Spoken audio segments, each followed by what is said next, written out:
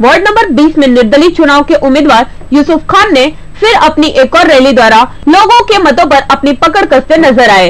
नब्बे feet road जमजम गली में यूसुफ खान अपने समर्थकों के साथ जब चुनाव प्रचार के लिए निकले तो लोगों ने उनका पूरा सहयोग करते हुए उनके नाम के नारे लगाने शुरू कर दिए।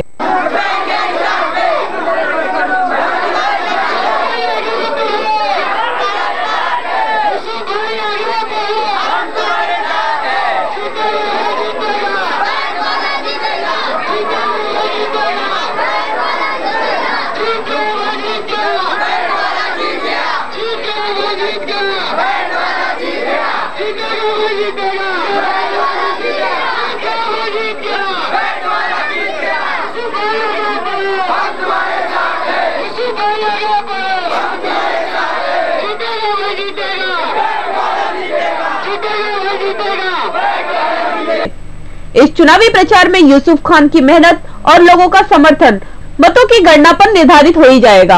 से रैली में आप आ रहे हैं देख रहे हैं यहाँ के लोगों को पार्टी से मतलब नहीं है यहाँ के लोगों को काम करने वाले इंसान से मतलब है जो भी पार्टी आती है काम नहीं करती है। इसलिए यहाँ के लोगों ने बीड़ा उठाया कि इस बार मुझको अपक्ष चुन के भेजेंगे बीएमसी में। तो इस बार क्या लगता है अपक्ष का झंडा बीस नंबर वार्ड में? मेरे लोगों से पूछो रहेगा कि नहीं ज़रूर ज़रूर लहराएगा आप देख- जा रहा है कि आप यूसुफ जी के साथ काफ़ी ज़ोर शोर से ये रैली में उनको सपोर्ट कर रहे हो तो क्या बोलना चाहोगे आप यूसुफ जी में? अब क्या ये यही पैदा हुआ, इसी मोहल्ले का है? इसी मोहल्ले का है, यही पैदा हुआ। यही का लड़का है, बाहर का है नहीं। यहाँ जीतेगा तो हम लोग कभी भी बारह बजे रात, दो बजे रात बजे पड़े जो हम लेके जाएँगे, काम कराएँगे बाहर वाले को हमको ढूंढना पड़ता है। इनको, उनको सिफारिश लगाना पड़ता है। ये तो कभी कभी भी हमारे गल है तो कम से कम कुछ नहीं तो हमारा मोहल्ला तो ठीक हो जाएगा।